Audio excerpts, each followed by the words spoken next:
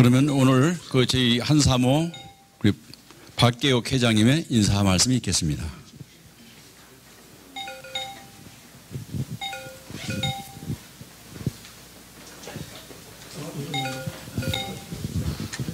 안녕하세요.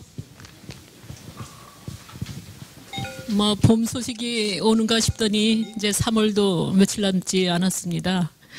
어, 오늘 39차 역사 포럼에 와 주셔서 대단히 감사합니다.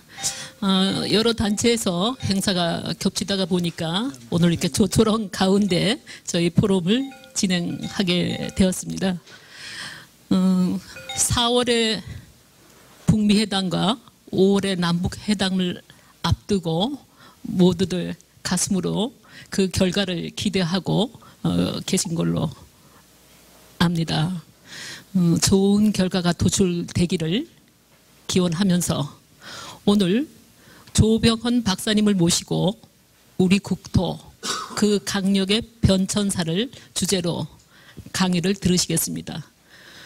우리 조병헌 박사님은 25년 동안 일반 사람들이 접근하기 어려운 우리 국토 강력의 변천사를 그 자료를 수집하시고 정리하시고 연구하시면서 어, 각고의 노력을 기울여 오셨습니다. 그런 우리 조병헌 박사님의 특별한 노력과 수고에 감사의 마음과 존경의 마음을 드립니다.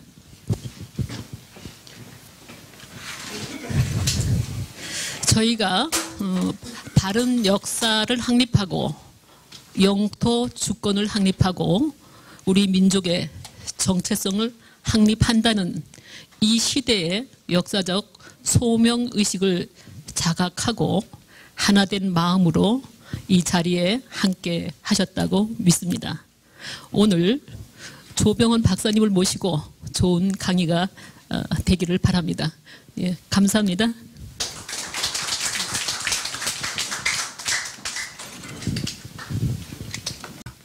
오늘 저희들이 모신 우리 조병현 박사님은 어, 북한 토지연구소 소장님으로 재직하시면서 어, 북한 쪽에 그 토지를 다 섭렵하시고 여러 가지 학문적으로 정립을 하신 분입니다. 오늘 이 시간에 어, 모실 때 나오실 때 뜨거운 박수로 어, 모시면 감사하겠습니다. 우리 나오실 때 박수 보내주기 바랍니다. 우리 조병현, 조병현 박사님을 앞으로 모시겠습니다.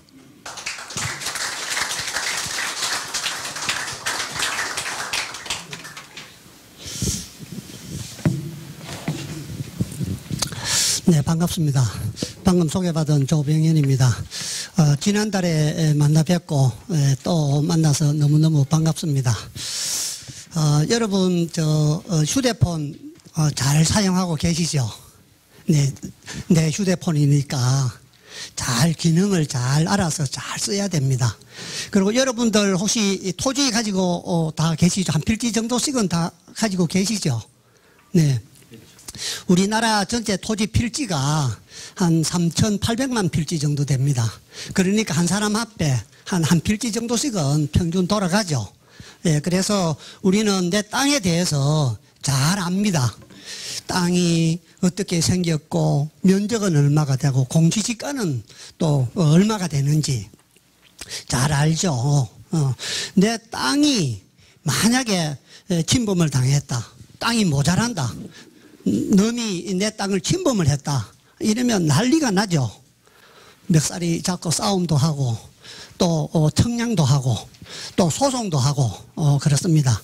이 땅들이 내 개인의 땅들이 모이면은 이제 리동 경제가 되는 것이고 또 그게 모이면 어, 광역자치단체 그게 다 모이면 국가 땅이 되는 겁니다. 그래서 내 땅에 문제가 생기면 지적공사에 가서 청량을 하듯이 우리 국가 땅에 문제가 생기면은 국제사법재판소로 가야죠. 예, 그래서 거기서 이제 판결을 이제 받고 합니다. 그런데 내 땅은 그렇게 관심을 가지고 잘 알면서 국가 땅에 대해서는 전혀 관심이 없어요. 네. 이 땅이라는 것은 땅이라는 것은 영구 불변이 아닙니다. 내 땅도 경계가 자꾸 변하죠. 이 땅이라는 것은 3,800만 필지라고 했지만은 합병, 보태지기도 하고 분할, 분할되기도 하고 또 없어지기도 하고 어, 그렇습니다. 그거와 마찬가지로 국가 간의 에, 경계, 강력도 변합니다. 영구 불변이 아니죠. 지금 우리가 휴전선을 이제 국경은 아닙니다만은 휴전선으로 우리가 지금 어, 어, 경계를 삼고 어, 우리가 남한에 예, 지금 살고 있지 않습니까? 그러나 실제로는 어, 북한도 우리 지금 영토죠 헌법상으로. 어, 그리고 또 한때는 우리가 저 어, 어, 간도 지역 어, 거기도 우리가 관리를 했었고 뭐 대마도도 마찬가지입니다. 예, 그래서 우리가 저 어, 고대 선사 시대 때부터 역사 시대죠. 역사 시대 때부터 우리나라의 강력이 우리나라 국경이 어떻게 변해 왔는가 아, 그걸 한번 오늘 어, 한번 짚어보겠습니다. 내 땅이다 생각하고 어, 국가의 땅도 관심 있게 에, 지켜보면은 많은 어, 도움이 이, 될 걸로 어, 생각을 합니다.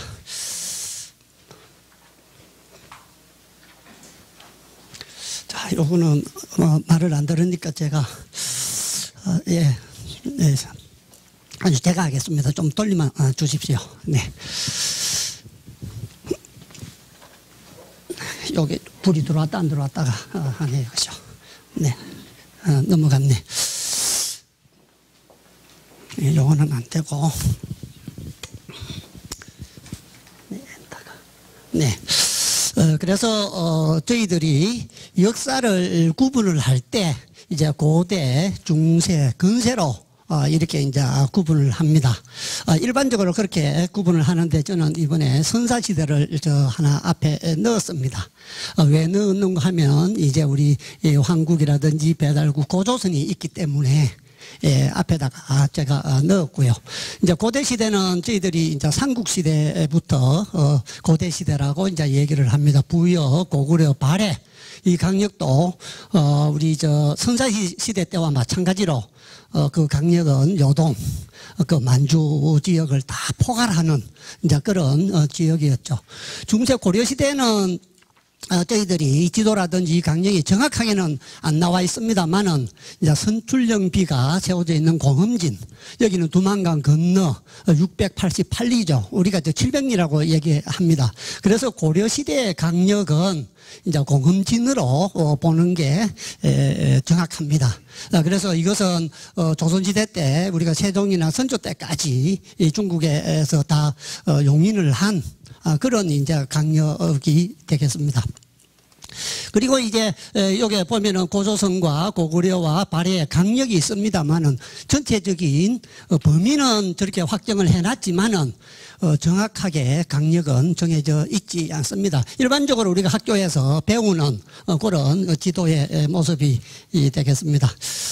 어, 근세 시대는 이제 조선 시대 이후를 우리가 근세라고 하는데 이 근세 시대는 이제 조금 구분하면 이제 현대까지 포함을 하는 이제 그런 어, 개념이 됩니다. 그래서 제가 어, 시기를 근세라 하면 조선 시대부터 지금까지니까 너무 멀어서 어, 제 나름대로 강력의 변천사의 주로 어, 주요 사건별로 어, 이렇게 구분을 했습니다.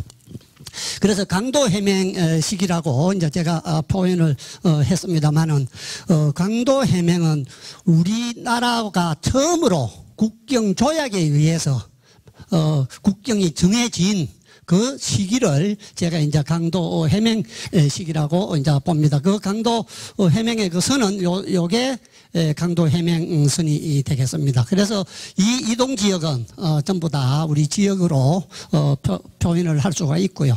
그 다음에 이제 백두산 전개비 시기입니다. 어, 1627년도에 이, 이 유조 변책전이 설치가 되고 나서 1712년도에 여기에 백두산에 전개비를 이제 설치를 해서 서쪽은 압록이고 동쪽은 토문이다. 이렇게 이제 국경선을 정해서 이쪽에 서간도 쪽은 저희들 영역에 포함이 안 됩니다만은 이 동간도 북간도 연해주 지역은 어 저희들 땅으로 이렇게 구분이 되는 시기를 백두산 전개비 시기라고 제가 어 표현을 했습니다. 그리고 이제 간도 자치 시기를 했습니다. 대한제국 때부터입니다.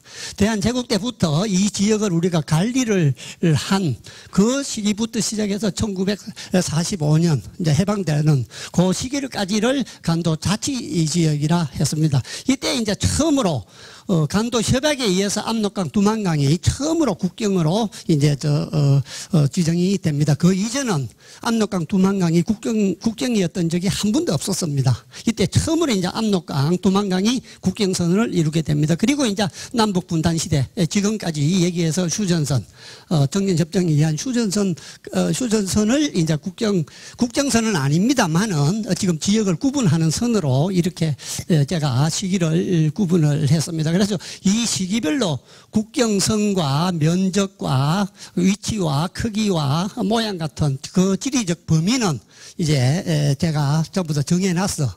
어, 그렇게 이제 정리해 놓은 논문이 있습니다. 그거는 이제 참고를 이제 하시면 어, 되겠습니다. 자 그러면 어, 우리 헌법상의 에, 강령은 어떻게 에, 나타나 있는가 하면은 이제 헌법 제 3조에 한반도와 부속 도서로 되어 있죠. 한반도와 부속 도서라 한다고 해서 그 경계가 어디부터 어디까지인지 이, 어, 정확하지 않습니다. 불명확합니다. 자, 북한 지역은 우리가 포함된다고 봐야 되겠죠. 헌법상. 어, 휴전선은 있지만은 그래서 한반도에 북한 지역은 당연히 포함된다고 어, 저희들은 인식을 하고 있고요. 그러면 압록강과 두만강 이북 지역은 한반도에 들어가느냐 안 들어가느냐? 한반도가 어디부터 어디까지다 이렇게 규정되어 있는 게 하나도 없습니다 실제. 예. 그래서 이제 반도는 이제 이 도출부 뛰어나온 부분을 이제 반도라고 얘기하고 섬도 아닌 반이다 해서 이제 반도라는 의미도 있지만은 어 실제 그 앞에 이제 하늘 붙여서 우리가 한반도라고 합니다만은 뛰어 압록강 두만강을 기준으로 해가지고 어 돌출된 부분만 한반도인지 아니면 우리가 관리했던 간도지역까지 포함해서 한반도인지 어, 뭐, 불명확하죠. 그 다음에 이제 부속 도서가 있는데, 부속 도서는, 뭐, 독도는, 어, 당연히, 우리 이제 부속 도서죠. 그 다음에 이어도는 그러면 부속 도서인가 아닌가. 참 애매합니다. 어, 대마도는 포함이 되는가. 아, 이런 어, 문제들이 있습니다. 그리고 압록강과 두만강 하루에는 섬들이 엄청나게 많습니다. 어, 그 섬들은 그럼 어떻게 되는가. 이런 문제들이 있죠. 그래서 이제 어떤 어, 사람들은 이 헌법 조항을 이제 개정을 해야 된다. 아, 이런 이제 주장하시는 어, 분들도 어, 실제 있습니다. 그리고 또 이 강력은 어, 고지도 어, 상에서도 이제 어, 어, 다르게 나타나고 있는 것을 우리가 어, 저알 수가 어, 있습니다. 자, 그러면 그 이 강력들은 어떻게 에, 변해져 왔는가, 어, 그 내용들을 조금 자세히 한번 이제 에, 살펴보도록 하겠습니다. 어, 저 우리가 어, 남한산성, 뭐 영화라든지 소설에서 이제 잘 아다시피 이제 정묘호란 어, 이후에 이제 저희들이 강화도에서 이제 조약을 맺습니다. 그걸 이제 강도 해명이라고 합니다. 강화도에서 맺은 조약이죠. 그 내용에 에, 보면은 어떤 어, 내용이 있는가 하면은 각 작전 봉항이 나옵니다. 서로 국경선을 지키자는 얘기입니다. 그 국경선이 어디냐? 바로 유조 변책선입니다. 유조 변책선. 그래서 이 유조 변책선을 정해서 아까 어, 제가 보여드린 것 마찬가지로 여기 있죠, 그죠? 이 선이 유조 변책선입니다. 어, 여기에 여기에 심양에 후금이 있다가 청나라로 이름을 바꾸고 북경으로 내려가면서 이제 이 유조 변책선 오른쪽은 이제 봉금을 시켰습니다. 우리도 들어가지 않을 테니까 조선 너희도 넘어오지 말아라. 비무장지대를 만들어 놓고 내려갔죠. 그 이유는 이제 여러 가지가 있습니다. 어, 가장 이제 중요한 것은 백두산이 그 이제 청나라도 자기들 이제 발상지 선조다. 그걸 이제 보존하기 위해서 어, 했는데 정명호란이나 병자호란을 거치면서 이걸 기준으로 해가지고 자기도 안 들어올 테니까 이것도 어, 우리도 들어오지 말아라고 얘기했. 그것은 이 땅이 자기들 땅이 아니었기 때문에 예, 그렇게 했겠죠. 만약에 이게 자기들 땅이면 암덕강 두만강 건너오지 말아라. 이렇게 했으면 됐지 않겠습니까? 그죠? 그래서 이 유조 변책선을 설치를 해서 설치를 해서 봉금을 시킨 것은 어, 이게 에, 역사적으로나 그 당시에 근원적으로 봤을 때 에, 후금 청나라 영토가 아니었기 때문에 이렇게 했다라고 이제 저희들은 어, 보고 있습니다. 그리고 이 이 지역은 이게 이제 중국에 나와 있는 지도입니다. 중국에 나와 지도. 어, 두 번에 걸쳐서 이 유조 변책선 공사를 했습니다. 어, 유조 변책선이라는 것은 버드나무를 심고 성문을 만들고 이렇게 해서 국경선을 삼았다는 얘기입니다. 예, 예, 그래서 유조 변책선 어, 요게 이제 봉황성부터 시작해갖고 이렇게 성문이 쭉 다 있죠. 어, 성이 다 있고, 그 다음에 평지에는 이제 버드나무를 심고, 어, 산에는 이제 성을 쌓고, 이래가지고 국경선을 이렇게 예, 만들었던 것이죠. 사남 인자 어, 모양으로. 어, 그래서 1667년도에 450km 쌓은 것을 저희들은 노변이라고 얘기하고, 어, 그 다음에 1681년도에 다시 이 쌓은 것은 이제 에, 신변이라고 어, 얘기를 합니다. 아, 그래서 이 345km 어, 이러한 내용들은 뭐 저희들 어, 기록에도 나와 있습니다만은 청해 호부 기록에 보면은 어, 이런 기록들이 그대로 다 나와 있고 지도라든지 에, 또 어, 여러 곳에 어, 기록에 다 아, 나와 있습니다. 지금도 가면 이 성문들의 흔적들이 그대로 어, 다 남아 있습니다. 아, 일부 지역은 뭐 어, 답서를 저도 했고요. 그래서 이 봉금 지역은 1883년도 중국하고 우리가 공식적으로 이 봉금 지역을 해제하는 게 1881년도와 1883년도입니다. 이 모굴란이 일어나고 어, 그때 이제 중국이 힘이 막강해졌을 때 이 유조 변책선을 없애고 이 지역을 자기들이 이제 다 차지하려고 할 때까지 이 봉금 지역은 어, 유지가 됩니다. 아, 유지가 되고 그래서 어, 성문을 쌓고 버드나무를 심고 또 이렇게 성을 쌓기 쌓아서 국경으로 정했기 때문에 우리나라 최초의 국경선은 바로 이 유조 변책선이다. 아, 이렇게 예, 보는 어, 것입니다. 그리고 그리고 이제 어, 어, 어, 지금 어, 지금 보니까 이 화면이 좀 많이 잘려서 위에가 지금 조금 안 나오고 있습니다. 뭐그 점은 어, 감안하시면 되겠습니다. 여부터 이제 백두산 정계비 이 얘기입니다. 그렇게 어, 세월이 흘려서 1712년도에 이제 백두산 정계비를 어, 설치하게 에, 됩니다.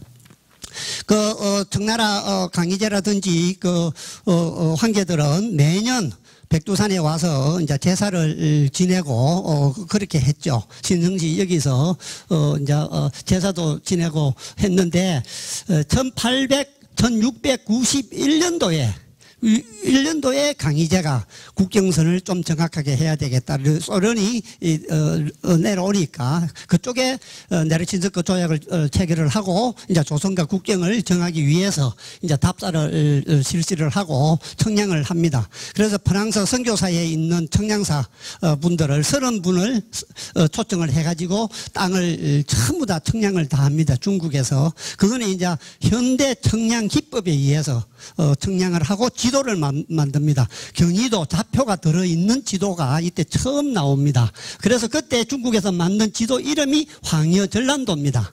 해중국 지도라고 하죠. 이제 당빌 지도라고도 하는데 그때 어, 프랑스 선교사 오신 분 이름이 이제 당빌입니다. 그래서 당빌 지도라도 라고도 하는데 이제 황여 전람도를 만듭니다. 그리고 나서 이 황여 전람도에 보면은 이제 우리 이, 이 조선하고 청하고 국경선이 정확하게 나와 있는데 지금 이제 만주 지역 일부 지역이 우리 이 영역으로 다 나와 있습니다. 이 황려 전남도 지도에도 보면은 이제 그렇게 나와 있고요. 1910년도에 와, 와가지고 이제 이만지 사건이 일어납니다.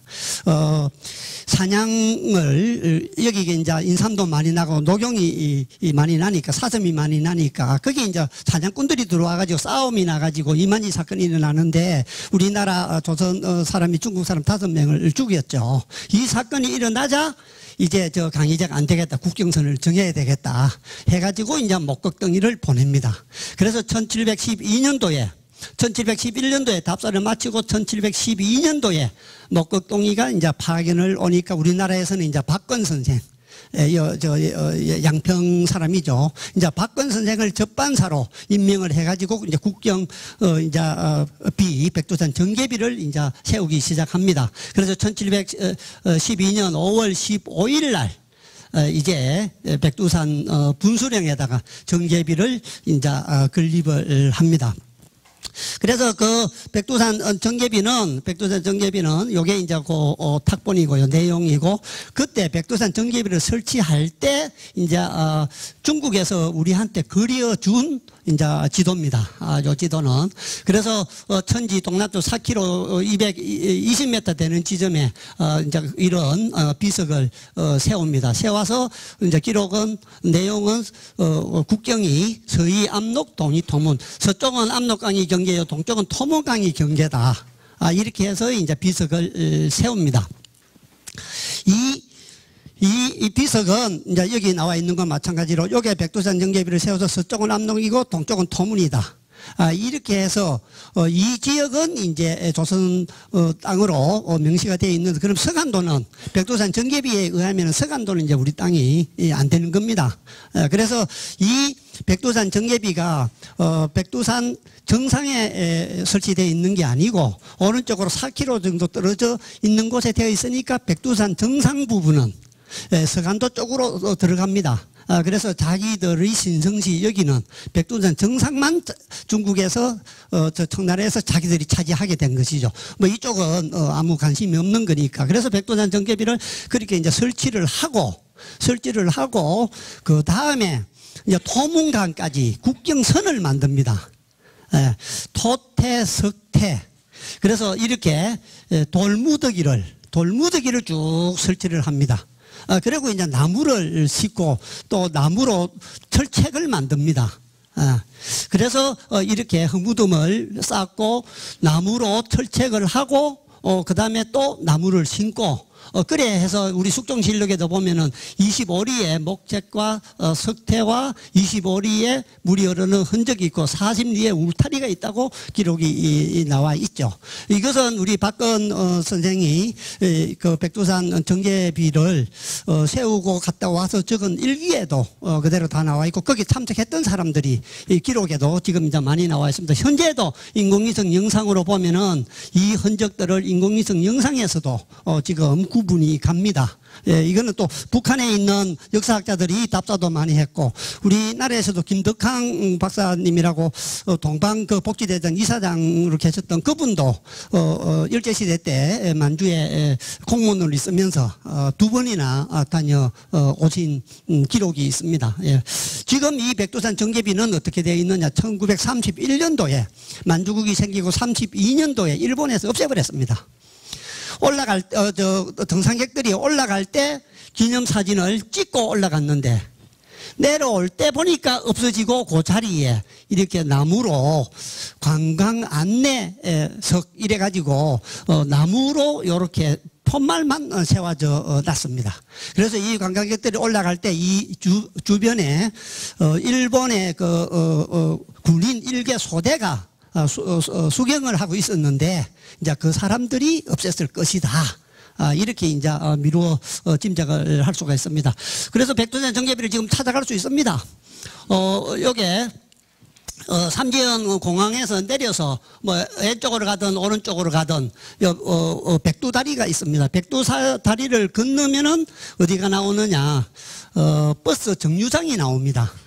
버스 정류장이 나오고 요게 군인들 초소입니다. 아, 그리고 그 건너편이 여기가 버스 정류장인데 여기서 내려서 여기 가면 백두역입니다. 여기서 이제 전철을 타고 어, 천지로 이제 올라가는데 여 주차장 군인 초소 요 모서리에 가면 요게 있습니다 지금도 그래서 이 자리에 예, 북한에서 북한에서 대리석으로 어 요렇게 딱 세워놨습니다 주차장을 만들면서 훼손을 안 시키고 어, 그 자리에 아직도 북한에서 이렇게 만들어서 어, 보존을 어, 하고 어, 있습니다. 자, 이 백두산 정계비가 상당히 이 중요합니다. 어, 백두산 정계비가 과연 국제법적으로 효력이 있는 거 없는가? 아, 그게 이제 상당히 중요하죠. 효력이 있었다라면 서희 압록 동이 토문의 경계가 되는 것이고 만약에 효력이 없다라면 그 앞단계로 가야죠. 유조 변책으로 가야 어, 되는 거죠. 어, 그런데, 어, 우리, 이, 이 동북아, 어, 어, 역사재단, 어, 그쪽에서는 경기도에서 평화를 꿈꾸다 할 때 백두산 정계비는 국제법이 이 생겨나기 이전에 있었던 거기 때문에 국제법 적용을 하기가 어렵다. 뭐 이렇게 동북아 역사재단에서는 뭐 얘기합니다만 어제 어, 국제법이라든지 그 간섭이 그 법률이 생기고 난 이후부터 유효하다. 그 이전은 안 된다. 이런 것은 없거든요. 그래서 그 해석도 좀 음, 아, 맞지 않는 것 같습니다. 어쨌든 간에 백두산 정계비에 따라서 따라서 국경이 달라질 수 있다. 아, 이렇게 어, 이해를 하시면 어, 되, 겠습니다 어찌됐든 간에 백두산 정계비는 백두산 정계비는 우리가 어, 지적학적으로 봤을 때 예, 지적학적으로 봤을 때 지적이란 지적은 아까 제가 앞에 잠깐 어, 얘기했었지만은 사람한테는 호적이 있고 땅에는 지적이 있거든요. 그죠? 어, 그래서 어, 땅은 어, 이제 에, 에, 지적을 해서 땅의 위치나 크기, 모양이나 가치나 이런 것을 토지대장 지적도에 등록을 하고 그 다음에 등기를 해서 관리를 하죠, 국가가. 사람은 이제 가족관계 등록부, 호적부가 있듯이. 음. 그래서 이 지적학적으로 봤을 때 이 백두산 정계비를 분석이 가능하다는 거죠. 그래서 이 백두산 정계비는 국경선을 나타낸 단순한 표지석이 아니고 지금으로 따지면 토지 대장과 등기부 역할을 그 당시 상황으로서는 했다. 아, 이렇게 평가를 어, 할수 있습니다. 그래서 이 백두산 정계비를 중국은 나중에 국경회담이 나옵니다만 이 백두산 정계비를 우리가 옮겼다. 자꾸 이제 이렇게 얘기를 하거든요. 비석을 옮겨서 위치가 달라진다고 해서 내용이 달라지는 건 아니지 않습니까? 서해암록 동이 토문이 달라지는 것은 아니거든요. 어, 그래서 어, 어, 어, 중국에서는 이제 이걸 뭐 옮겼다 이런 얘기도 합니다만 그런 거는 전혀 이제 성립이 안 된다고 어, 볼수 있겠습니다. 자. 그리고 나서 이제 1858년도에 1858년도에 이제 아이온 조약을 러시아하고 어, 어, 청이 몇 개 되죠. 그래서 그때 이제 국경을 정하지 못했던 부분을 언제 정하느냐. 1860년도에 아편 전쟁이 끝나고 나서 그걸 중재를 러시아가 한 대가로 이제 에, 베이징 조약을 체결을 합니다. 그래서 연해주가 어, 러시아로 넘어가게 됩니다. 우리는 어, 어, 몰랐죠. 어, 어, 몰랐습니다. 그리고 국경을 설치를 하고 그 작업을 할때 어, 녹둔도가 넘어가는 줄도 우리는 어, 몰랐습니다. 그래서 그 봉수대 에, 에, 관리하는 사람이 어느 날 하루 보니까 노랑머리를 하고 머리 쓴 사람들이 왔다 갔다 하는, 하는 거 보니까 심장자리에서 보고를, 보고를 하고 하고 알아보니까 국경을 설치를 하고 있는 거예요. 어, 그래서 어, 어, 베이징 조약에 의해서 연해주 지역에 이제 어, 국경을 삼을 때, 삼을 때 녹둔도도 넘어가고 연해주도 넘어갔다. 연해주가 넘어감으로 해서 연해주가 넘어감으로 해서 어, 우리는 녹둔도를 잃었고 연해주를 잃었고 청은 청은 동해로 나오는 길목이 막혔습니다. 동해로 진출이 어렵게 돼 있고 러시아는 러시아는 처음으로 부동항을 찾아서 남으로 내려오면서 이제 우리 조선하고 접하게 돼서 이제 조선으로 해서 어, 또 남으로 일본으로 내려가는 길을 텄죠. 어, 그래서 지금부터 일어나는 이 한반도의 정세는 러시아의 남진 정책을 막기 위해서 미국과 영국이 세력 다툼을 하는데 패권을 차지하기 위해서 식민지 정책을 쓰는데 자기들이 힘이 딸리고 또 군사가 부족하고 또 우리 이 한반도는 조선은 너무 멀어 이래서 대리전을 대리로 내세운 게 결국은 일본이 되는 겁니다. 일본과 우리는 똑같이 문을 열어, 열어야 되는데 어, 일본은 문을 열어서 새로운 문물을 받아 어, 우리는 문을 닫았기 때문에 결국은 문을 닫고 우리는 나중에 8천을 해서 러시아 편을 먹게 되죠. 어, 그러니까 결국은 영국하고 미국이 일본을 대신해서 우리를 다스리도록 해서 우리가 어, 어, 어, 어 조선이 이제 에, 그렇게 일본으로 어, 넘어가는 과정을 겪게 되는 그 첫 번째 나비 효과가 여기서 이제 나타나는 겁니다. 어, 바로 이 베이징 조약에 의해서 연해주가 녹둔도가 넘어가는 게 결국은 우리 한반도 분단까지 어, 이어진다 이렇게 에, 보시면 됩니다. 그런 맥락으로 어, 이해를 하시면 어, 됩니다. 그리고 우리 뭐 정부에서도 이 녹둔도에 대해서는 뭐 주미 우리가 여 공사 1990년 서울 주재 러시아 공사 때도 우리가 반환 어, 요청도 하고 국회에서도 또 영도 반환 교섭 건의안을 상임위에 제출도 하고 한 적은 있습니다. 그런데 이것은 어, 어, 실현되지 못했고요. 결국 우리 이순신이 목숨을 걸고 지킨 이제 녹둔도도 이제 그때 넘어갔는데 이 녹둔도는 이제 녹도라고도 나와 있죠. 대동여 지도에도 보면은 녹도라고 해서 그대로 잘 나와 있습니다.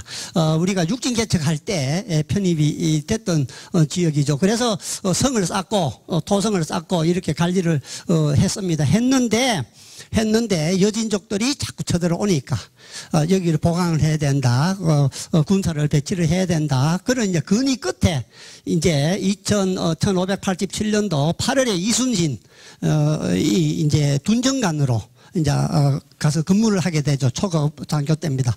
어, 뭐 둔정관은 어, 군인들이 이 이제 에, 먹고 어, 살기 위해서 붙이는 그 땅을 이제 둔전이라고 어, 그러죠. 그래서 땅을 관리하는 사람으로 이제 이순신이 여기에 갔는데 여진족이 침입을 해와서 여진족이 침입을 해와서 어, 많은 어, 희생을 당합니다. 어, 그래서 이순신 장군은 어, 백의종군 어, 소환령이 내려서 소환령이 내려서 이제 뭐 사형까지 논의가 되는데 앞에 이- 이순신이 여러 가지 이제 요구 사항을 많이 했는데 그걸 정부에서 들어주지 않았기 때문에 이렇게 됐다. 정부에도 책임도 있다. 해서 그러면 백의종군 해라 어, 해서 다시 이제 이순신 장군이 여진족을 쳐들어가 가지고 어 이제 포로도 어, 또 구해 오고 어 이제 말도 찾아오고 이렇게 해서 어 이제 에, 복귀가 아, 됩니다. 그걸 이제 우리가 녹둔도 어, 전투라고 합니다. 녹둔도 전투라고 하는데 KBS 어, 대하 드라마 백사부작 불멸의 이순신에서도 이 장면이 2회에 걸쳐서 어, 방송이 됐습니다. 이 녹둔도 전투. 이순신 장군이 23승을 했지만은 어, 해전에서는 23승을 했지만은 1패한 게 바로 이 녹둔도 어, 전투입니다. 그 어, 이게 방송된데 최고 마지막 장면에 보면 자막이 쭉 올라갑니다. 어, 이런 내용입니다. 요게 지금 틀면은 뭐 나오는 제가 요거 3분짜리로 편집을 해 놓은 건데 지금 시간이 없으니까 그냥 지나가겠습니다. 마지막 자막이 녹둔도는 1860년 북경조약으로 러시아에 복속되었으며 오늘까지도 귀속 문제를 해결하지 못한 미수복 토지다. 아, 그래서 이해 마지막 분에 이렇게 자막이 쭉 올라갑니다. 작가도 상당히 역사 의식이 있는 어, 사람으로 어, 보여 집니다. 자, 이 녹둔도는 일본이 이 관심을 많이 가졌죠. 어, 일본이 녹둔도 관계 잡건이라 해서 녹둔도를 처음 더 조사를 해가지고 기록해 놓은 어, 자료가 있습니다. 그리고 또 외무성에 에, 비밀 문서도 있고 조선 총독부에서도 녹둔도에 대해서 조사를 다 했습니다. 뭐 해보니까 역시 전부 다 우리 이, 이, 이 땅이 맞다. 우리 영토가 맞다. 어, 결, 결론은 그렇고요. 그리고 또 우리도 1883년도에 에, 의원중이 이제 녹돈도 반환을 요청을 했죠. 10여 차례 에, 우리가 어, 어, 청에다가 러시아한테는 바로 얘기 못하고 우리가 주로 이제 청에다가 얘기를 했죠. 어, 러시아한테 얘기해서 우리가 녹돈도를 찾을 수 있게 해달라 해달라 했는데 결국은 못했습니다. 그래서 경영부사가 어, 이렇게 러시아에 에, 전달을 한 그 서류가 여기 있습니다. 아, 서류가 여기 있습니다. 그 내용을 번역해 놓은 게 에, 요겁니다. 어, 한번 읽어보면은 한 국가의 땅이 자국의 잘못도 없이 제3국으로 넘어갔으면 당연히 그 땅을 돌려주는 것이 올바른 것이 아니겠습니까? 모든 국가에는 법률과 분쟁 법원이 있습니다. 따라서 국경수비대장께서 기국어 어, 정부와 상의하여 녹둔도 지역을 우리 국가에 돌려주시길 요청합니다. 녹둔도는 과거에도 우리 국가에 속해왔고 현재도 우리 지역이야 하기 때문입니다. 이렇게 공문을 어, 보내서 돌려달라고 얘기했지만은 어, 결국은 아직도 찾아오지를 못했습니다. 자 그런데 재미나는 것은 북한에서 이 이순신의 녹둔도 전투를 기념하기 위해서 기념관을 지어놓고 있습니다. 그리고 또, 어, 두 번째, 에, 여진족 마을을 쳐들어가 가지고 구출해 온 걸 기념하기 위해서 성전 대비 비석을 아주 잘 지금 관리를, 어, 하고 있습니다. 어, 요 뒤에 바로 어, 다음 장에 예, 나오겠습니다. 자, 여기 북한에서 관리하고 있는 어, 지어서 기념하고 있는 이순신 기념관입니다. 이게 이순신 기념관이고 이게 성전 대비입니다. 이 안에 성전 대비라 해가지고 앞쪽에 전면에 비석에 성전 대비하고 뒷, 뒷면에는 이 녹둔도 전투에 대한 자, 자세한 기록을 다 아, 기록을 해놨습니다. 어, 그래서 이 마을 이 기념관이 있는 마을을 성전 마을이라고 부르고 있습니다. 성전말이라 부르고 그 마을 뒷산이 원래는 서른봉인데 성정봉으로 이름을 바꿨습니다. 아, 이름을 바꾸고 처음에는 이제 돌을 날려다가 탑을 쌓아놨었는데 어, 이순신 장군의 그 어, 후손이 후손이 오대손 후손이 이, 이 탑을 보고 아 너무 좀 초라하다 해가지고 1762년도에 아, 이, 이, 이 정각을 지어서 기념을 하고 있습니다. 그래서 미국에 조국을 부르게 하는 단체에서 2015년도에 이거 보수를 해놓은 겁니다. 아, 보수를 해놨고 여기가 바로 압록강 중국에서 보면은 바로 어, 건너 넘어 어, 보이는 마을이고 이 바로 저뒤 서범포 라고 해서 어, 큰 어, 자연 어, 어, 호수가 있습니다. 만포가 있고 동범포가 있는데 여기는 바로 서범포하고 500m 거리에 있습니다. 500m 거리에 있는데 중국에 어, 북한에서 그 서범포에다가 거북선을 만들어서 띄우려고 하는데 관광 자원으로 활용을 하려고 하는데 돈이 없어서 지금 그 부선을 못 만들고 있습니다. 그거 저희들이 가서 그 부선 만들어서 띄워 줘야 됩니다. 제가 어, 구글에서 위치를 다 찾아서 좌표까지 정리를 다 해서 요 내용들은 제가 어, 처음으로 어, 이수진 기념관이 있고 그 다음에 성견 대비가 있다 하는 것은 이 지역을 직접 방문해서 기념관에 들려간 사람한테 에, 자료를 어, 어, 구했습니다. 아, 지금 미국에 살고 있습니다. 요거는 바로 그 토잡입니다. 어, 연해주에 아까 국경을 설치를 할 때 최고 마지막 지역에 있는 그 비석 이름이 토잡입니다. 토자가 쓰인 비석이죠. 어, 그래서 여기가 바로 중국, 북한, 러시아 삼국이 만나는 지점에 아, 요 토자가 적힌 비석이 있습니다. 제가 방문해서 어, 사진 어, 찍은 거고요. 자, 그 다음에 이제 강력이 1863년도에 1863년도에 이제 고종이 이제 즉위를 하게 되고 병인 양료라든지 심의 양료를 거치면서 이제 문을 안 열고 어, 우리가 어, 세국 정책을 펴게 되죠. 어, 그래서 어, 이제 세국 양위 정책을 추진하는데 어, 척가비를 한 200개를 어, 세워서 주, 중요한 지점마다 이제 척가비를 다 세우죠. 어, 어, 외국과 화친을 하는 것은 나라를 팔아먹는 것과 똑같다. 아, 뭐, 첫카피 내용이 그겁니다. 제 고향 함양 상림 숲에도 가면 이거 딱 지금도 있습니다. 예, 나라를, 외국과, 어, 어, 화친을 하는 것은 나라를 팔아먹는 것과 똑같다. 그래서 이제 우리가 문을 닫은 이 첫카피. 이때 일본은, 일본은 메이지 유신을 하게 되죠. 문을 열죠. 우리는 안 여는데, 어, 일본은 이제 문을 엽니다. 메이지 유신이 뭔고 하면은 바로 왕정복고입니다. 무사들이 다스리던 것을 이제 왕이 이제 다스리게 되는 것이죠. 어, 그래서 다시 말하면 패번치연입니다. 어, 번을 없애고 현을 만듭니다. 중앙 집권제를 실시를 하는 것입니다. 천황이 이제 다스리게 되는 것이죠. 그래서 이제 신국이요 이제 제국의 길을 걷게 됩니다. 그리고 일본의 내무 정치 문제를 해결해서 타라 입구 정책을 씁니다. 서양이 하는 것과 똑같이 한다는 얘기입니다. 괜히 저때 사람 보고 같이 갈 이유가 없다. 아, 그래서 제국주의의 그를 길을 걷는 게 이제 타라 입구 정책이 되겠습니다. 자, 이제 중앙집권화가 되고 무사들이 다스리던 걸 이제 천황이 다스리게 되니까 사람하고 이제 땅을 이제 천황한테 이렇게 복속을 시키는 중앙정부에서 관리를 하도록 바치는 이제 의식을 해야 되는 겁니다. 그걸 반적 봉안이랍니다. 사람, 사람하고, 어, 땅을 봉안한다, 바친다라는 의미죠. 그래서 이 판적 봉안은 1869년 3월 2일부터 시작돼 가지고, 그때 근인서가 제출되고 1870년 8월 달까지 마무리가 됩니다. 자, 그러면 대마도는 어떻게 할 것이냐? 대마도는 어떻게 할 것이냐? 판적 봉안을 해야 되죠. 어, 그래서 어, 배 두 대를 보냅니다.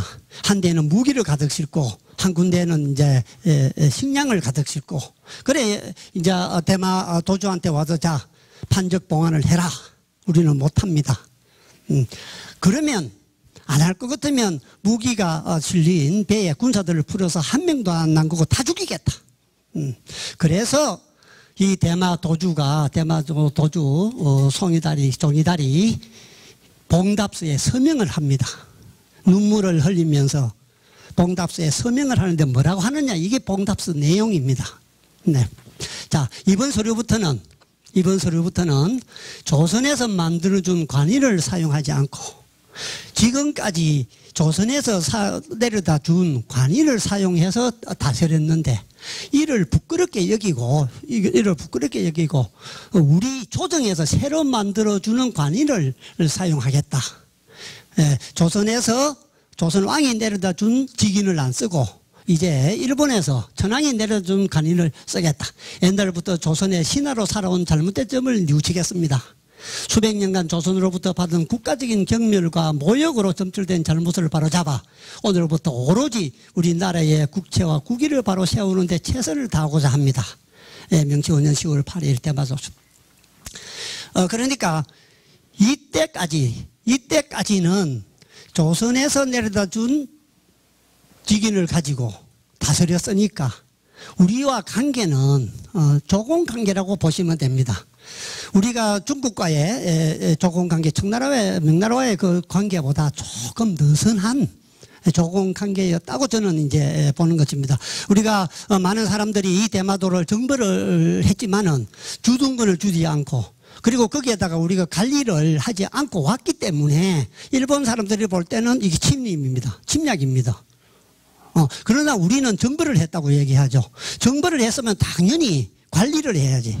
사람을 파견한다든지 기관을 만든다든지 그렇게 하지 아- 않았기 때문에 단순히 침략 정도다. 그렇지만은 그래서 우리가 어, 내려다 준 교지와 이 직인을 가지고 어, 다스린 것을 잘못되고 이를 부끄럽게 여기고 지금부터 이제 천황이 내려다 준 도장으로 한다고 했으니까 이때가 바로 어, 일본에 공식적으로 대마도가 편입된 시점이다. 아, 이렇게 보는 겁니다. 그래서 이 대마도의 판적 봉안이 이 상당히 중요한 의미를 갖고 있습니다. 이러한 내용들은 요 신용우라는 요 우리 역사 소설가가 있는데 에, 그분이 쓴 고조선과 대마도의 진실에 보면 이런 어, 내용들을 알 수 있습니다. 기회 되면 한번 보시면 됩니다. 자, 그러면 이제 우리가 바로 또 독도 문제가 생기잖아요. 그죠?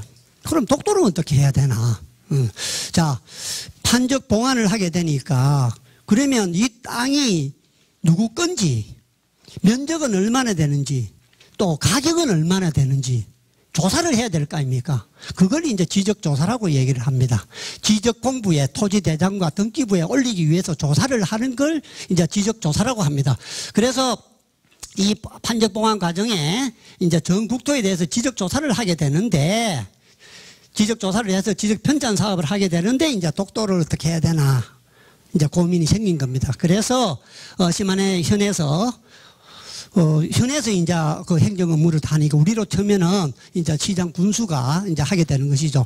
이걸 독도를 어떻게 해야 될지 모르겠어. 어 그래서 내무성에다가 질의를 합니다. 독도를 어떻게 할까요? 하니까 내무성이 압니까? 그죠? 그래서 내무성이 5개월 동안 조사를 합니다. 조사를 한 거를 첨부를 해가지고 누구한테 보냈느냐? 우리로 치면 국무총리죠. 태정관한테 보냅니다. 자, 독도를 지적 편찬 사업을 하기 위해서 지적 조사를 해야 될까요? 말아야 될까요? 총리가 다시 조사를 합니다. 그래서 총리가 다시 조사를 해가지고 조사를 해가지고 내무성에 내무성에서 다시 어, 시- 어, 현에다가 공문 내려온 게 이 공문들입니다. 이 공문들. 그래서 그걸 우리는 어, 내무성 지리서 및 태정관 지시 문서라고 얘기합니다. 아, 그게 언제냐? 1877년 3월 29일입니다. 이 지- 내용이, 내용이 뭐라고 되어 있는가 하면 독도는 일본과 관계없는 땅이니 지적 편찬에 편입하지 말라라고 명시를 합니다. 총리가, 아, 총리가 공문으로 독도는 우리 땅이 아니니까 어, 지적조사 해가지고 토지대장 만들고 등기부 만들지 말아라. 이렇게 이야기한 게 1877년 3월 29일입니다. 자, 이거 하나만 하면은 뭐 독도 영역군 문제는 뭐 더 얘기할 게 없습니다. 그 이후에 일어난 일들은 뭐 아무 상관이 없는 어, 일들로 봐도 어, 충분합니다. 이렇게 이제 태정간에 공식적인 이제 공문이 있음에도 불구하고 불구하고 1905년 을사 어, 늑양을 맺은 어, 그, 어, 그, 그 해죠. 2월 22일 날 어, 어, 고치 제 40호로 이제 어, 현에다가 편입을 합니다. 국가 땅은 국가가 편입을 하고 간보에다가 고시를 해야 효력이 있는 겁니다. 그런데 여기는 어, 총리가 하지 말아라 했는데 에, 할 수가 없죠. 그래서 이제 어, 어, 현에서 몰래 살짝이 이 자기들이 등록을 해놨습니다. 이거는 의미가 없는 겁니다. 국가 행위가 아니기 때문에 아무런 효력이 없는데 일본은 자꾸 이걸 자기들이 내세우곤 하죠. 우리보다 먼저 어, 등록을 했다고 어, 그렇게 이제 얘기하지만은 아무런 소용이 없는 것이고 그래서 이제 우리 한반도 침탈의 가장 첫 번째 희생양이 이 독도다 이제 이런 얘기를 어, 여기서 그렇게 하게 됩니다. 그리고 나서 1906년도에 토지대장에 에, 등록을 합니다. 일본은 그리고 1945년도에 등기부에 기재를 하고 어, 그 다음에 공시지가도 부여를 하고 해서 어, 실제 실제 우리보다 일본이 독도를 먼저 토지 대장을 만들고 등록을 하고 공시지가를 부여를 했죠. 어, 우리는 언제 했느냐?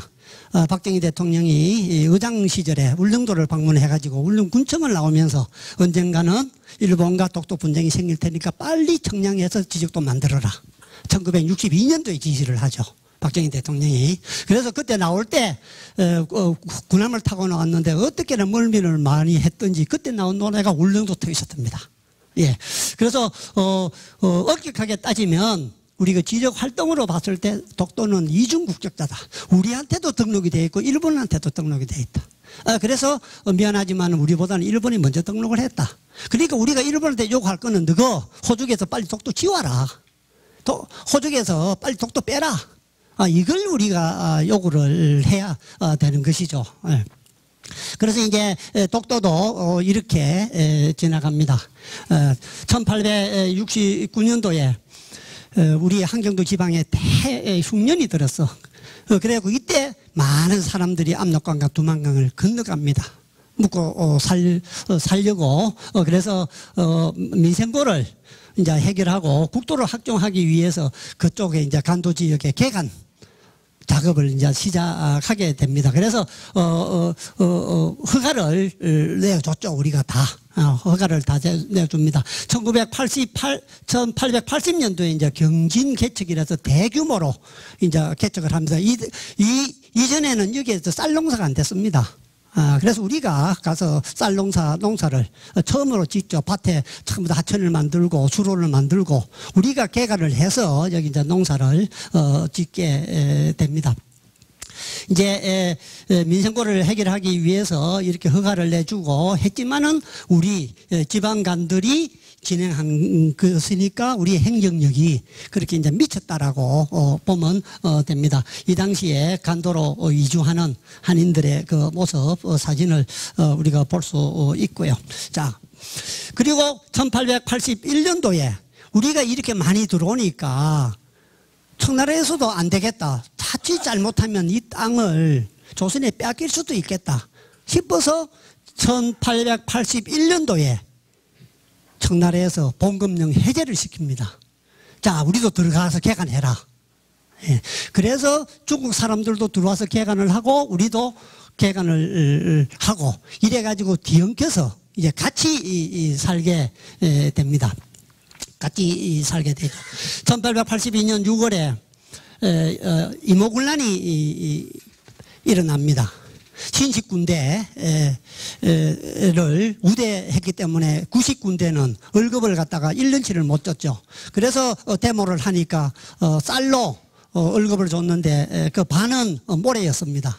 그래서 군인들이 일어난 게 이제 이모 군란이죠. 이모 군란을 청이 이제 진압을 하게 되죠. 어, 그래서 어, 이제 대원군을 중국으로 청으로 데리고 어, 가고 이제 실질적으로 어, 이제 우리 조선을 이제 속방화하죠. 어, 그래서 이런 어, 규정을 맺어서 정문에 이제 속방을 명시를 합니다.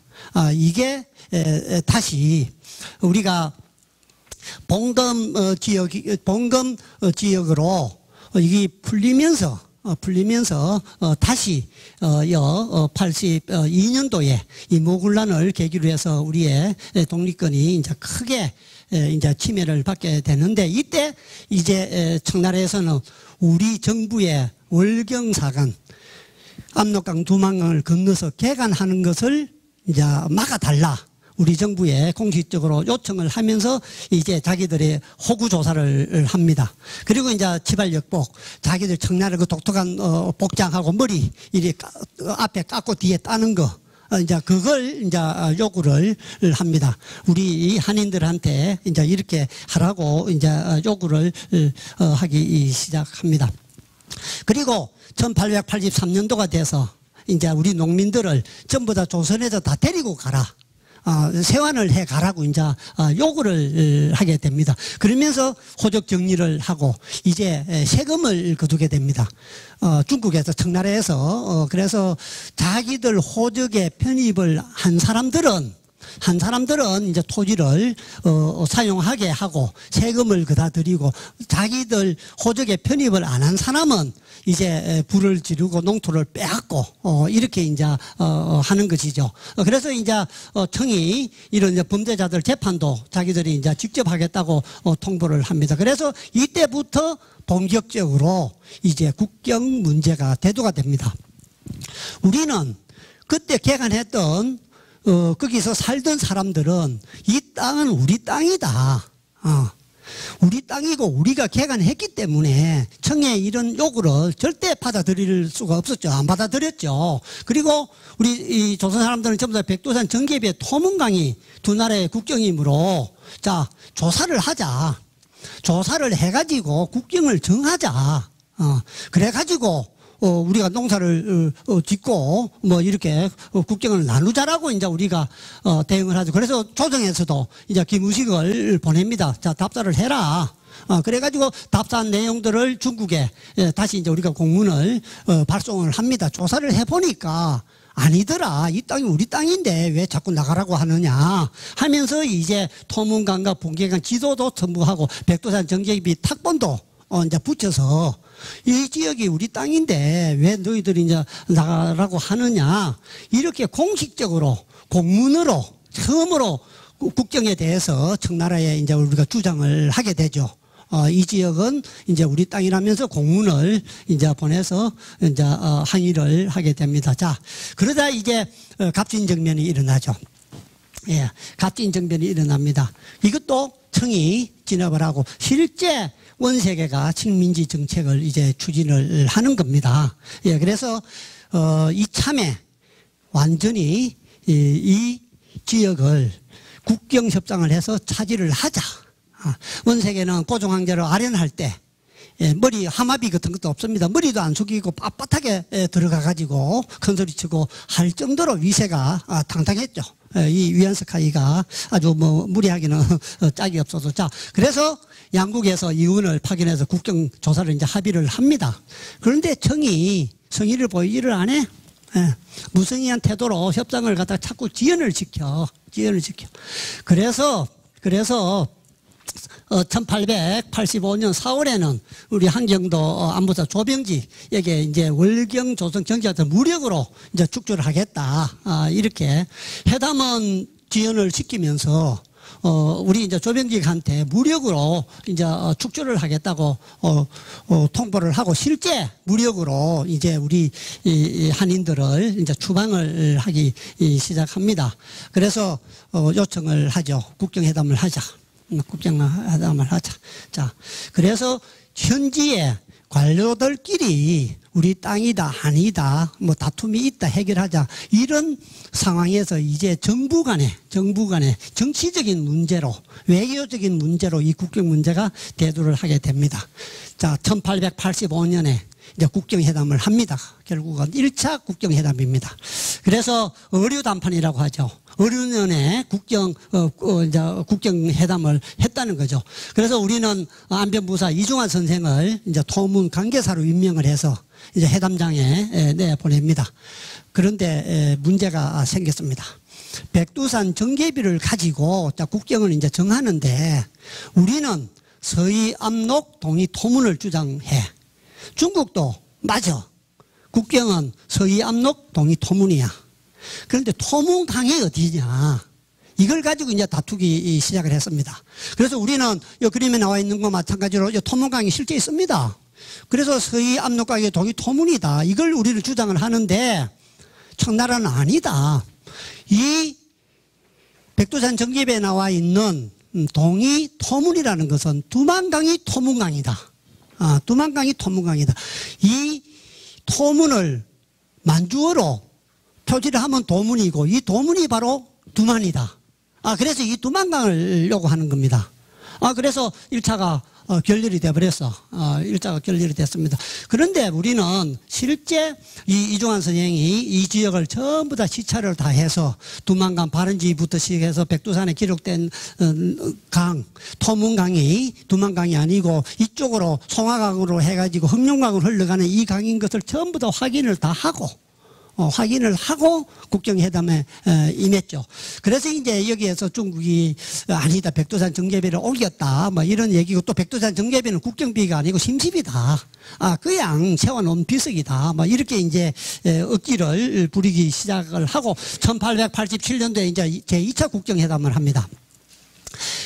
87년도 국경회담을 하는데 우리 이중환 선생님이 유명한 이제 명언을 남깁니다. 김우식이하고 은색이하고 서울에서 미락을 해서 자 두만강을 토문강으로 받아들이라 이렇게 이제 지시가 아, 내려왔습니다. 아, 그래서 이중환 선생님은 어쩔 수 없죠. 좋다. 그러면 두만강하고 토문강이 같은 강이다. 그런데 두만강으로 흘러 들어가는 그 강줄기가 세 개가 있습니다. 세 개. 세 개가 있는데 우리 이중환 선생은 최고 북쪽 수원이 두만강으로 들어가기 때문에 최고 북쪽으로 국경을 정해야 된다. 청은 아니다. 최고 남쪽으로 자기들이 땅을 많이 차지하고 남쪽으로 정해야 된다. 이렇게 다툽니다. 이중화 선생이 외교적으로 기지를 발휘한 것이죠. 그러면서 한다는 얘기가 오두가당 국토 불가 축소라. 내 목을 내놓을지언정 한 치의 땅도 내어줄 수 없다. 끝까지 이중환 선생님이 버팁니다. 음. 그래가지고 2차 회담도 어, 결렬이 됐습니다. 이중환 선생님은 깨를 냈죠. 자, 우리가 내가 얘기하는 최고 북쪽에 수원에서부터 시작해서 두만강을 조사하자. 위에서부터 조사를 해서 내려가면 그게 두만강으로 이어지지 않는다는 것을 이중환 선생은 알거든. 그런데 청나라는 어떻게 하냐. 두만강에서부터 조사를 해가지고 올라가자고 얘기합니다. 올라가면 어디로든지 연결이 돼서 올라가겠죠. 어, 그거는 최고 밑에 쪽이 그렇게 연결이 되는 거예요. 그래서 이종환 선생이 끝까지 버텨가지고 2차를 또, 어, 어, 결렬을 시키고 이제 3차를 일, 중국에서 다시 요구를 합니다. 그런데 우리 조정에서는 응하지를 않습니다. 자, 여기까지 왔는데, 여기까지 왔는데 3차 하면 중국의, 어, 청나라의 요구를 들어줄 수밖에 없다. 그래 되면 우리가 많은 땅을 잃게 된다. 어, 그렇기 때문에 3차를 분응을 해버려요. 그래서 유한스카이가, 유한스카이가 1888년 4월 28일 날, 1888년 4월 28일 날 아주 중요합니다. 딱 130년 전이죠. 그죠? 130년 전에. 원세계가 우리 외무독판, 외무부 장관 조병직에게 공문을 보냅니다. 1887년도 국경회담은 협정에 이르지 못했기 때문에 후일에 다시 나를 잡아서 국경회담을 하자. 우리한테 공문을 보냈어. 그런데 그 이후에 국경회담 아직 한 번도 안 열렸어. 예, 그래서 금년에, 예, 금년에, 예, 저희들이 국경회담을 하자라고 얘기했어. 1887년도에 국경회담을 하고 안 했으니까 작년이 130년이라. 그래서 작년에 어, 1월 4일 국회에서 국경회담 합시다. 어, 해서 기자회견을 이제 제가 어, 했고 또 공문 보낸 지가 올해가 130년이니까 올해 어, 해도 어, 무방합니다. 우리는 어, 국경회담은 안 했지만은 우리 이제 대타로 일본에 나가서 했잖아요, 그죠? 울산 늑약을 맺어가지고 일본에 나가서 했는데 그건 무효고. 예, 그거는 조금 이따가 예, 말씀을 어, 드리기로 하겠습니다. 자, 그러면 진짜 토문강이 어느 강인가 요거 하나 어, 잠깐 좀 살펴보고 가겠습니다. 우리는 이렇게 알고 있죠.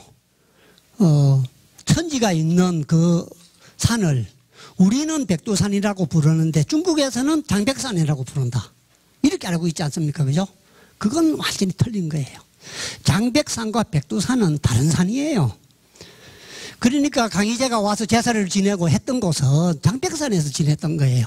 백두산에 온 게 아니고, 아, 장백산에서 왔어. 그런데 지도들을 가지고 쭉 살펴보면은 백두산 정계비를 설치하고 그 이후부터 중국에서 지도를 다 조작해냅니다. 이 이후에 나온 지도들은 지금 천지가 있는 산을 장백산으로 표시를 하기 시작해. 그 전에 있는 거는 곤치지를 못하죠. 나와 있는 거는. 어, 그래서, 어, 백두산 정계비가 설치되고 난 이후, 이후와 전후에 장백산 위치가 틀립니다. 자, 한번, 어, 보겠습니다.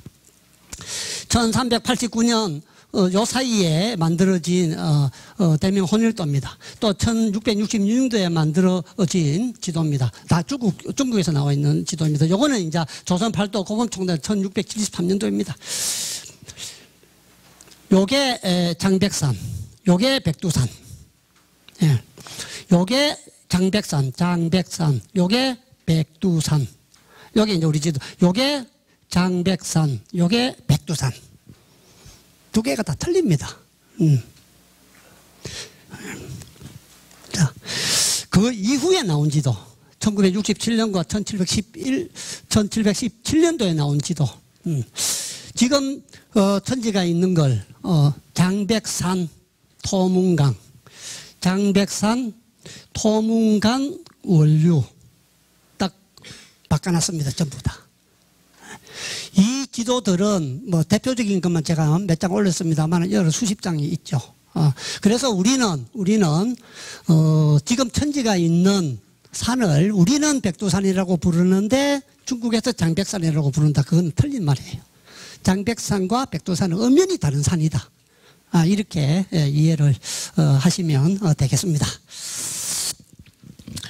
자, 그리고 나서 이제 1894년도에 청일 전쟁이 일어났죠. 아, 청일 전쟁에서 승리한 일본은 하관 조약을 맺습니다. 그래서 조선의 지배권을 확보를 하게 됩니다. 일본은. 청이 조선의 독립을 인정을 해줬죠. 청이 조선의 독립을 인정했다는 것은 일본의 지배력이 그만큼 강화됐다는 얘기입니다. 아, 일본이 이제 요동반도와 타이완을 차지하면서 이제 조선의 지배권을 차지하는 게 이제 청일 전쟁입니다. 청일 전쟁이 이르고 나서 바로 우리나라를 이제 삼키려고 했죠. 어, 그러자 우리가 어, 어, 어, 어 민비가 러시아를 끌어들이죠. 그래서 우리가 학교에서 배울 때 삼국 간섭이라고 배웠죠. 어, 그래서 러시아와 프랑스와 독일이 들어서 안 된다. 일본도 그못 먹는다. 아, 이집트 먹듯이 자기들이 딱 보국으로 조선을 만들려고 했는데 일본은 급할 게 없다. 그럼 천천히 가자. 아, 해서 러일 전쟁, 청일 전쟁을 이기고 나서도 보국으로 못 만듭니다. 음.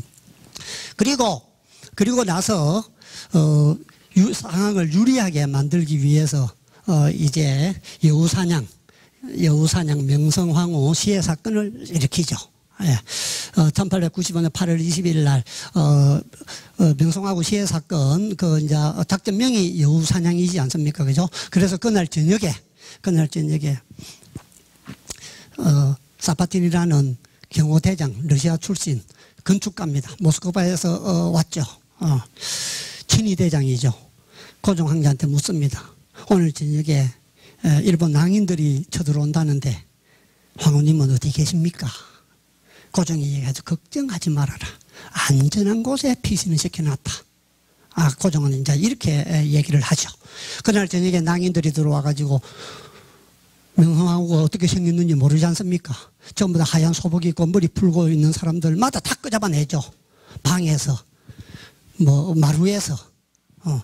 그 중에 한 서른 명 정도가 어, 그날 저녁에 희생이 됐는데 한 명을 마당으로 끌어내죠. 그리고 국부검사를 합니다. 국부 검사를 하고 불을 태우죠. 죽이서 찔러서 죽이서 불을 태웁니다. 그걸 멀리서 지켜보고 있던 나이 많은 환관 한 분이 뼈 하나를 훔쳐냅니다. 음. 그리고 이게 명성황후를 이제 시했다. 보고서에 보면 딱 한 줄 나와 있습니다. 방금 얘기한 거. 명성황후를 어, 끌고 나와서 국부를 검사를 하고 죽이고 불태웠다. 아. 국부검사한다고 명성하는 줄 압니까? 어, 우리 국모를 그렇게 욕보임을 해서 우리의 위신을 이제 깎아내리려고 의도적으로 한 것이고. 음. 자, 그러면 진짜 명성황후가 어, 그날 죽었는가 안 죽었는가? 어, 그거는 여러 가지 자료가 최근에 이제 밝혀진 자료에 의하면 러시아에서 비밀 문서들이 많이 해제가 됐죠. 러시아에서 나온 문서를 그는 안 주고 따는 게 에, 이제 대표적으로 어, 서류가 많이 나오고 있죠. 어, 그리고 어, 명성황후 장례를 갖다가 3년 후에 에, 치르지 않습니까? 그죠? 어, 대한제국 선포하고 나서 그 이후에 치르고 또 어, 우리가 봉황의 나라 어, 할 때도 제가 어, 말씀을 드렸습니다만은 어, 봉황의 나라에서 이제 우리 고종 황제를 모시고 와가지고 망명을 시켜서 어, 이제 어, 어, 대통령으로 만들려고 했는데 그때 이제 에, 에, 블라디보스톡으로 이제 망명을 고종이 이 기획을 하죠. 어, 그때 사바티는 어디가 있었느냐? 모스크바를 안 가고 어, 바로 어, 브라디보스톡에 가 있었죠. 그래서 명성황후를 브라디보스톡으로 피신을 시키지 않았나 이- 이렇게 이제 추적을 할 수 있고 그런데 왜 일본이 이 명성황후를 죽였다라고 얘기를 했느냐. 러시아에서는 손해볼 게 없었죠, 그 당시에. 어, 일본이 저렇게 무리하고, 뭐, 무식하고, 저렇게, 어, 국제적으로 어, 망신을 이제 주고 하기 위해서, 어, 죽은 것 그치. 일본이 그리 나쁜 짓을 한, 그, 한 것에 동조를 어, 해줬을 뿐이라는 거죠. 그 분석서는 어, 그렇습니다. 어찌됐든 간에, 어, 저 명성황후는 어, 시해 당하지 않았다라는 어, 책들도 지금 나와 있고 그다음에 거기에 대한 자료들이 이 많이 나오고 있습니다. 그래서 명성황후 묘에 가가지고 그 뼈 하나 가지고 어, 어, 어, 장례를 치렀으니까 그 뼈 그거 어, 끄집어내 가지고 DNA 분석하면은 알 수 있을 겁니다 아마 어, 그거는 어, 그렇게 그리고 1896년도하고 7년도 1년 동안 고종 황제가 이제 러시아 대사관으로 파천을 하죠. 이게 저는 우리 역사의 하나의 어, 어, 인조 반정과 어, 어, 맞물려서 이것도 하나의 큰 어, 핵심이다. 자 모든 나라들이 모든 나라들 제국주의자들이 전부 다 조선을 어, 이제 어떻게 관리를 하려고 하는데 관리를 하려고 하는데 러시아의 그 남진을 막아야 되는데 예, 우리가 러시아 대사관에 예, 가가지고 정치를 하고 있으니까 공동의 러시아가 적인데 우리가 러시아 편이니까 우리도 공동의 적이 돼버린 겁니다. 어, 그래서 결론적으로 우리가 어, 일본 손에 에, 우리가 당할 수밖에 없는 그런 계기를 만들어 준 게 저는 이 아간 어, 파천이라고 봅니다. 상당히 의미가 어, 있는 그런 이제 사건으로 볼 수 있습니다. 그래서 뭐 친러 내각이 구성이 되죠. 그래서 새로운 이제 지배자로 러시아가 등극을 하게 되고 많은 이권들을 챙겨가지고 울릉도 채불것도 이제 이때 가져갑니다. 율브린너 율브린너 할아버지가 바로 여 울릉도 채굴권을 어, 어, 받았죠. 그래서 그 돈을 가지고 율브린너 어머니가 율브린너를 미국에 유학을 시켜서 세계적인 이제 배우로 만들어내죠, 그죠? 어, 두드리면 목탁 소리 난다. 율브린너 뭐 머리카고 우리 어릴 때 따라 부르겠는데 그래서 이 그 유명한 어, 율브린너가 바로 울릉도 채벌권 가지고 공부를 한 사람입니다. 아주 재미나는 어, 얘기죠, 그죠? 자, 1897년도 이제 어, 대한제국을 에, 선포를 합니다. 그래서 자주 독립을 이제 어, 강화를 하죠. 여러 가지 이, 이제 개혁 작업을 고종이 본격적으로 어, 설치를 합니다만은 이제 이미 이, 늦었죠. 어, 뭐 러시아에서는 이 간도를 갖다가 한경도 간도를 해서 이제 우리 조선의 영토로 이제 인정을 하게 되는 뭐 그런 과정들을 겪습니다. 그래서 독립문도 이제 만들죠. 이 영업문 어, 중국 사신이 들어올 때 맞이하던 이 영업문을 뜯- 뜯고 여기다가 독립문을 만들죠. 어, 그래서 우리가 청나라로부터 이제 해방을 하기 위해서 이제 독립신문도 만들고 독립협회도 만들고 독립문도 건설합니다. 요거는 일본에 있는 고려문입니다. 이거는 이제 봉황성에 있는 고려문입니다. 이 세 개가 똑같은 겁니다. 우리가 일본 사람들이 우리나라 들어올 때 사진들이 들어오는 어, 관문이 여기 대마도에 있는 이 고려문입니다. 지금도 어, 대마도에 그대로 있죠, 그죠? 어, 뭐, 가, 여러분들 가보셨을 겁니다. 고려문, 여기 고려문 어, 표지판입니다. 이거는 우리가 중국에 들어갈 때, 예, 봉황성을 지나면은, 거기에 이 고려문이 있었죠. 저때 세관이 있었고, 어, 그게, 에, 역 이름이 고려역이었습니다. 그런데 김일성이가 어, 중국에 갈 때, 어, 어, 중국에서 자기 땅이라고 내놓으면 안 된다 어, 해가지고 그 고려역 이름을 일면산 역으로 바꿨습니다. 역 뒤에 있는 산 이름이 일면산입니다. 어, 그리고 이 고려문은 이 고려문은 홍위병들이 문화혁명 때 없애버렸습니다. 요 터는 지금도 남아 있습니다. 요 저때가 바로 군 부대입니다. 여기 들어가려면은 CC 카메라가 딱 어, 관리 감독을 하고 있습니다. 그래서 요 그 당시에 이 세 개의 문이 이 영업문은 독립문으로 어, 변했고 이 중국에 있던 문은 없어져 버리고 대마도에 있던 고려문은 아직도 그대로 어, 하고 있는 것을 우리가 알 수 있습니다.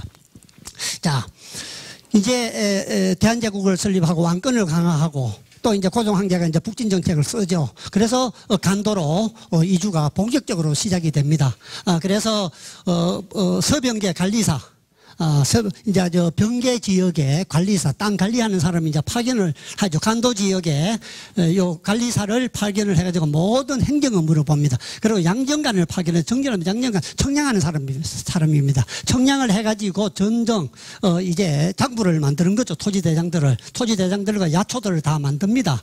그래서 1897년도에는 7년도에는 그 지역을 18개 면을 만들었습니다. 18개 면. 그래가지고, 어, 어, 평안도 관절사 28개 면을 다시 설치를 해가지고 우리 한경도에 강계, 초산, 어, 지성, 후창 사개 군에다가 이제 복속을 시키죠. 따로 군은 안 만들고 면을 만들어서 그 면은 어, 강 건너 있는 군에다가 전부 다 이제 복속을 시킵니다. 그리고 이제 서울 주재 공사한테 어, 이 땅들에 대한 이제 어, 소유권을 이제 어, 주장을 하게 되죠. 1901년도에 이범윤이 간도 관리사로 파견을 합니다. 그리고 나서 호구 조사와 부동산 조사를 실시를 하도 세금을 거두고 군린도 만들고 그리 하죠. 그래서 1902년도에 만든 이게 병계 호정안입니다. 그, 그, 어, 간도 지역에 사는 사람들 호적부를 다 아, 만들었죠. 어, 호적부, 이거 책은 이제 우리가 제보, 나, 국내에도 나와가지고 아주 이렇게 두꺼운 책들이 지금 다 어, 어 나와 있습니다.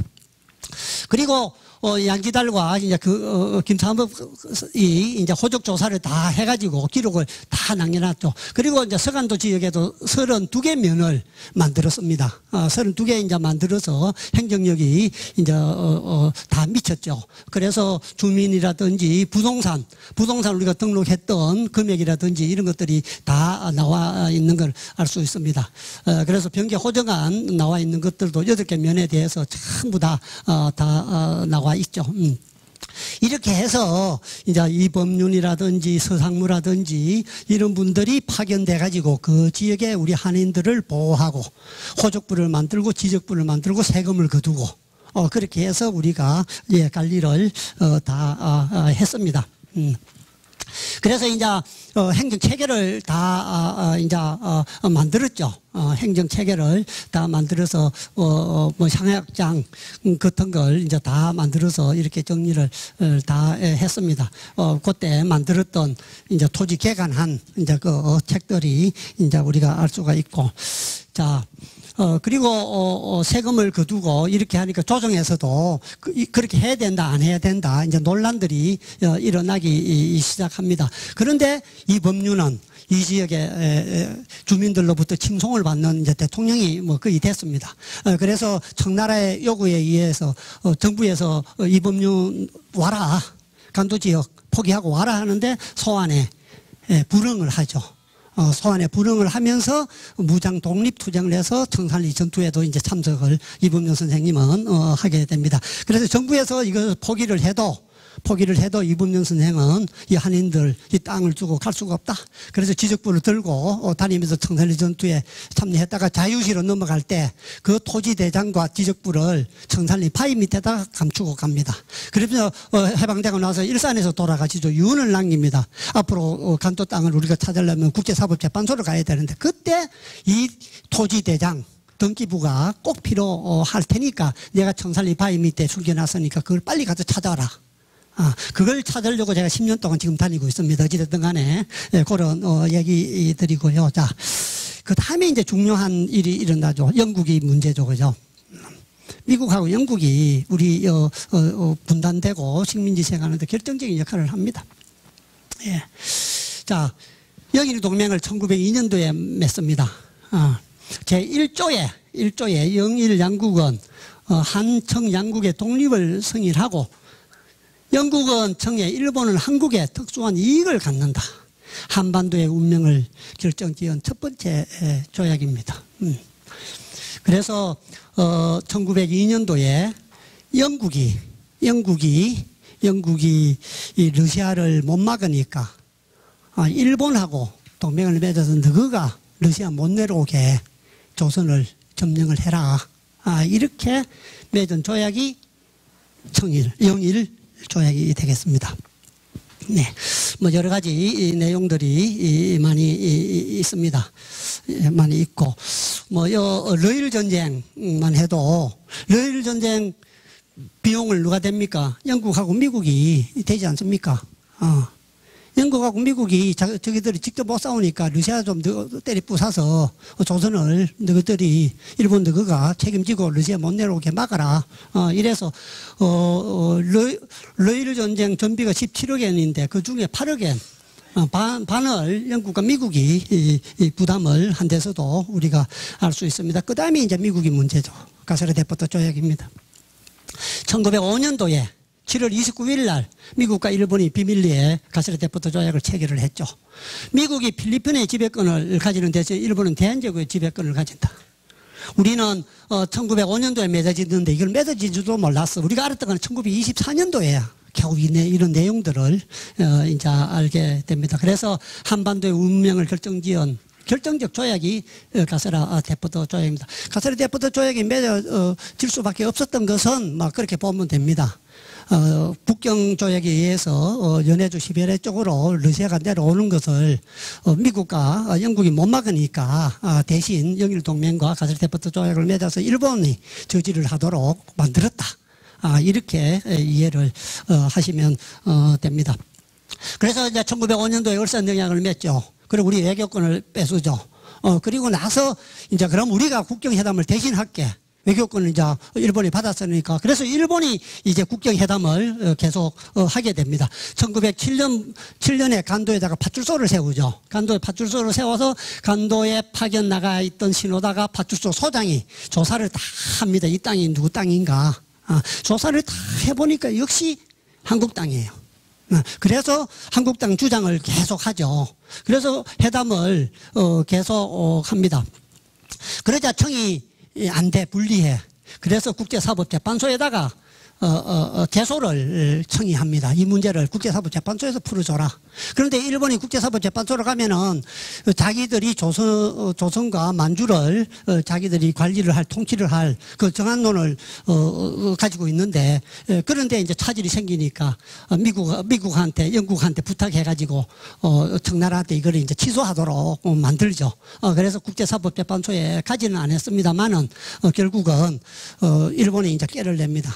그러면 그 다음에 이 동삼성 안에 있는 여섯 가지 현안 그걸 일괄적으로 타결을 하자. 음. 그래가지고 동삼성 유관 중에 예, 다섯 개는 어, 일본이 중국에서 받는 것이고 한 개는 일본이 청해 주는 겁니다. 그 한개준게 뭔가 하면은 간도 협약을 맺어서 간도를 내가주는 겁니다.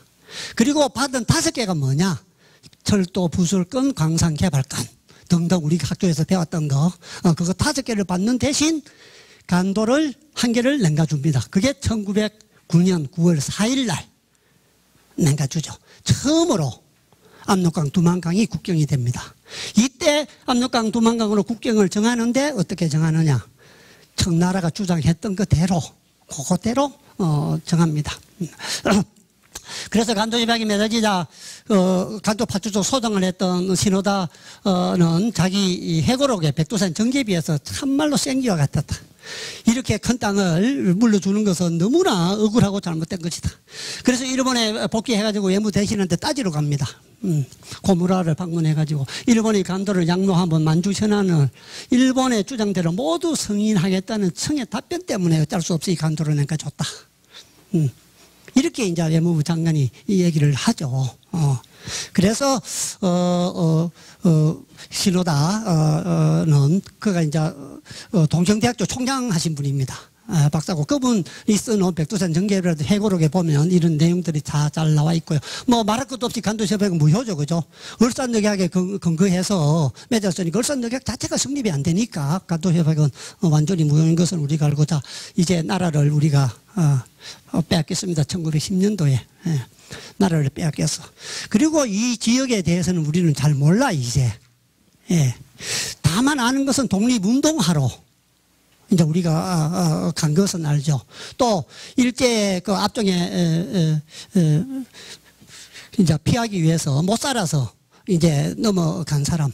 또 먹을 게 없어서 이제 어, 간 사람들 그 개간하러 간 사람들. 그래서 그 지역에 지역에 이제 우리가 어, 많은 사람들이 가게 되는데 1919년도에 민족 자결주의가 선포가 되고 어, 어, 기미 독립 이제 선언이 일어나고 나자 거기 있는 사람들이 이래갖고 안 되겠다 나라를 하나 세우자. 음.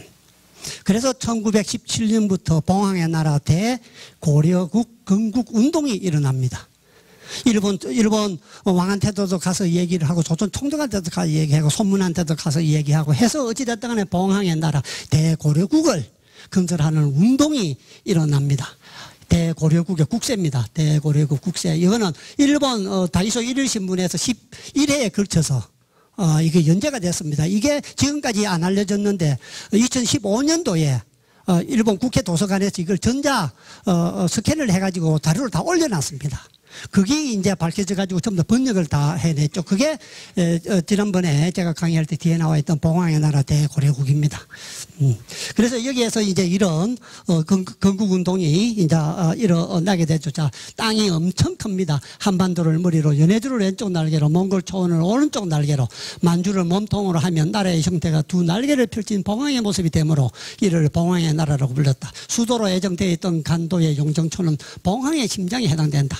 그러면서 이 땅을 어떻게 확보할 것이냐 일기 이상기로 나누어서 산다. 뭐 그런 내용들이 신문에 다 잘 나와 있는 걸 알 수 있다. 이게 에, 고구려 발해 땅에 우리가 세우고 세우고자 했던 봉황의 나라 지도입니다. 한반도 어, 몽골 공- 공원이 이 오른쪽 날개 연해주까지 왼쪽 날개 고구려 발해 땅이 이 우리 몸통 요게가 심장 영정 수도가 아, 되겠습니다. 요게 봉황의 봉황의 나라 아, 지도가 아, 됩니다. 자 국기 국기 설명하는데도 많은 시간이 걸리겠죠. 자, 이게 에, 국기입니다. 토지 제도는 어, 정전됩니다. 그래서 우물 정자를 쓰고 어, 고곡에다가 정충을 넣고 팔방으로 나가게끔 이렇게 만들었습니다. 이 신문이나 기사는 이렇게 되어 있는데 색을 입힌 게 이런 모양의 에, 지도가 아, 됩니다. 임, 상해 임시정부, 상해 임시정부에서도 어, 이 봉황의 나라가 들어서면 우리가 어, 상해 임시정부 없애고 그리 다 가겠다. 어, 상해 임시정부에서 어, 선언서를 어, 발표를 했죠. 에, 상해 임시정부에 에, 우리가 이, 이 봉황의 나라로 가겠다는 어, 이제 여기 뭐 여기 뭐 여러 가지 그런 내용들을 다 나라를 조건을 하여 대고려국이라 이름지어 이래서 제외 300만 동포를 규합하고 고토로 복귀하여 선업을 회복하여 넓히고자 한다. 에, 상해 임시정부에서도 봉황의 나라로 어, 자기들이 합치겠다는 헌법도 다 나와 있죠. 어, 헌법. 그, 그 다음에 법, 법, 법도 다 나와 있고, 예. 그리고 나서 결국은 실패를 합니다. 고종과 영친 왕이 이 망명을 하죠. 이걸 추진했던 사람이 정한립입니다. 안동역에 영친 왕이 망명을 하러 변장은 밀지 모자를 쓰고 코스튬을 하고 변장을 해가지고 단동, 안동으로 올 때 정한립이 마중을 나가가지고 영친 왕도 잡히고 정한립도 잡힙니다. 그걸로 해서 이 독립, 이 이제 독립 고려국 건국 운동은 좌절되고 어, 맙니다. 그러자 이제 어, 어, 1931년도에 만주국이 들어섰어. 만주국이 들어섰으니까 간도 협약이 무효가 되어버려서 당사자들이 없어졌으니까. 그래서 여기 있던 사람이 다시 또 나라를 세우는 부흥운동이 일어납니다. 그 나라 이름이 바로 단자유국입니다. 1932년부터 어, 운동이 이, 일어났습니다. 단자유국. 그래서 이게 단자유국의 예, 국기입니다. 단자유국의 국기고, 예, 요게 단자 유국이 이, 이 지도, 나라를 세우고자 했던 어, 지도고. 그래서 뭐, 어, 여기 뭐 다 나옵니다. 뭐, 어, 어, 어, 국- 군리는 어떻게 하고, 뭐 그런 얘기들이, 나라를 어떻게 하고, 그런 내용들이 이다 나오는 걸 알 수 있고. 자, 그래서 우리가 이제 에, 해방이 되죠. 이제, 어, 뭐, 어, 해방이 됩니다. 해방이 되는 거는 이제 우리가 남북 시대 1948년부터 지금까지 가 됩니다. 그래서 우리 이 한반도는 한반도는 일본 땅으로 어, 인식이 되어서 성전국들이 일본과 똑같이 우리 한반도도 4개국이 분할을 해서 통치를 하는 안을 미국이 만들었죠. 어, 미국이 맞습니다. 그런데 결국은 결국은 일본이 분할되지 않는 대신 우리만 예, 분할이 되죠. 그건 일본의 치밀한 항복 전술로 이래서 우리가 일본은 분할이 안 되고 우리가 분할이 됩니다. 그런 내용들은 자세하게 예, 예, 예, 적어 놨습니다. 다음에 이 자료 드릴 테니까 참고하시면 됩니다. 자, 그리고 1900 이제 어, 그래서 지리적으로 분할이 됐죠. 해방된 해방된과 동시에 북한 쪽에는 이제 어, 어, 소련군이 들어오고 남쪽은 미군이 들어와서 지리적으로 분할이 됐습니다. 그리고 이제 1947년도에 1947년도에 하얼빈 협정을 맺습니다. 국공 내정 때 우리 조선 의용군들 독립군들이 공산당을 도와줍니다. 어, 그래서 어, 대만 저쪽으로 장개석은 쫓기가고 어, 이제 등소병이가 어, 정권을 이제 닫게 되는 결정적인 계기를 만들어 준 대신 하얼빈 협정을 맺어서 이 지역을 북한 땅에 에, 주게 됩니다. 어, 그래서 제, 제, 제 3조 어, 연영 안동성은 북한을 주둔할 수 있는 구역을 특별히 규정하고 적당한 시기에 북한에 편입시킨다. 요게 3조 내용들이 그대로 다, 요 서명한 사람들 이름들도 요게 다, 어, 나와 있고요. 어, 그래서 요 하얼빈 협정을 맺어서 이 간도 지역을 북한에다가 이제 편입을 시키주죠. 채권 의식입니다. 중국 정부 수립을 하는데 빚을 많이 졌다는 거죠. 그 빚 갚으려고 이제 이 하얼빈 협정을 맺고요. 그 다음에 48년도에 평양 협정을 다시 맺습니다. 하얼빈 협정에 대한 후속 협정이라고 보면 됩니다. 그래서 요동은 중국이 차지하고 요동은 중국이 차지하고 조선인이 말리고사에 있는 간도와 서간도는 백두산 정계비의 토문강을 인정을 하고 동만주 일대 길림성 땅은 북한에다가 다 넘겨주기로 평양협정을 맺죠. 그리고 나서 간도와 안동과 길림에 우리 조선 의용군 12만 명이 주둔을 하고 있었죠. 그런데 한국 전쟁이 일어나니까 이 12만 명들이 조선 의용군들이 인민군으로 군복을 갈아입고 38선을 가장 먼저 넘어오는 게 우리 이 조선 의용군들입니다. 12만 명들. 여기에, 여기에 주둔하고 있었죠. 별이 있는데. 네, 여기에 주둔하고 있습니다. 그리고 나서 1948년도 양국의 정부가 들어서고 나니까 이제 민족이 이제 분단이 되는 겁니다. 국가가 어, 분단이 되는 겁니다. 그리고 이게 이제 우리 제헌국회에서 영토 조항이 아까 한반도 이 당시 처음에는 판도를 한다. 고유한 판도를 한다고 되어 있었죠. 영토 조항이. 그걸 이제 손들고 해가지고 수능안이 나와서 한반도와 부족 도서를 한다. 고유한 판도를 한다는 아무런 문제가 없습니다. 어, 그래서 어쨌든 간에 영토 신설 조항, 신설, 영토 조항이 이렇게 해서 들어가게 되고 1949년 10월 1일 날 지금 중국이 들어서죠. 그래서 그 당시에 이, 이 당시에 간도 임시 정부가 있었습니다. 간도 임시 정부를 여기 공산당 연변위원회가 접수를 하게 되죠. 그래서 어, 간도 지역에서 독립이나 자치안에 대한 것은 완전히 이제 끝나게 되는 겁니다. 그래서 한국전에 참전했기 때문에 채권 의식이 없다. 빚다 갚았다. 아, 그래서 우리가 너한테 해줄 거는 다른 게 없다. 조선족 자치주를 만들어주겠다 해서 조선족 자치주가 만들어져서 지금 그대로 유지가 되고 있는데 조선족 자치주도 지금 이제 까딱까딱합니다. 사람이라든지 또그 어, 범위라든지 이런 이제 여러 가지 문제점들이 있습니다. 그리고 나서 이제 주얼레도 63년도에 이 땅은 전부 다 어, 어, 조선 땅이다. 어, 그리고 여기 역사는 조선의 역사다. 우리 중국이 왜곡을 하고 있다. 뭐 이런 얘기들도 어, 주원래도 하고 뭐 땡동도 하고 어, 다 어, 했죠. 어, 이게 우리한테 돌려주고자 했던 어, 그 지도입니다. 예, 지도 뭐 반환 반환하려고 만들었던 이 지도들이 지금 이제 나와 있는 것을 자 알 수가 있습니다. 자 마지막입니다. 어, 그래서 어, 북한이 62년도에 중국하고 국정조약을 체결을 합니다. 그래서 압록강 하구에 있는 어, 섬들하고 또 어, 압록강 두만강 안에 있는 섬들하고 기속을 다 정하게 에, 에, 됩니다. 다 어, 정하게 되고 백두산도 어, 이때 이제 분할을 하게 됩니다. 그러면 간도협약 맺었을 때 청이 주장했던 그 선, 청이 주장했던 선은 요, 요 선이죠. 어, 요 선입니다. 음. 그리고 어, 국경협상 때 우리가 주장했던 선은 요 선이고 어, 요선이고 그러면 북한이 어, 이때 확정한 국정선은 이리와하고 백두산을 천지를 잘라서 이렇게 연결시켰죠. 우리가 주장했던 최고 북쪽에 있던 홍토수로 연결을 결국 시켰습니다. 김일성이가. 그래서 우리가 어, 어, 그런 얘기하죠. 김일성이가 한국전쟁 참전 대가로 백두산을 팔아먹었다더라. 어, 이런 얘기를 많이 하는데 실제 간도협약이나 어, 어, 어, 거기에 의하면 어, 요, 요거, 요거, 요게 을산늑약 때, 에, 어, 매- 어, 저, 저, 어, 간도협약 때 맺은 거니까 요거만큼 땅을 더 찾아왔죠. 어, 김일성이 그게 280km제곱미터입니다. 서울의 반 정도 됩니다. 서울 면적의 반 정도를 찾아왔기 때문에 김일성이가 뭐 한국전 참전 대가로 백두산을 팔아먹었다. 중국에 넘기 줬다 하는 말은 뭐 거짓말일 수도 어, 있을 것 같습니다. 그런데 중국이 이 중국과 북한이 체결한 조약은 비밀 조약입니다.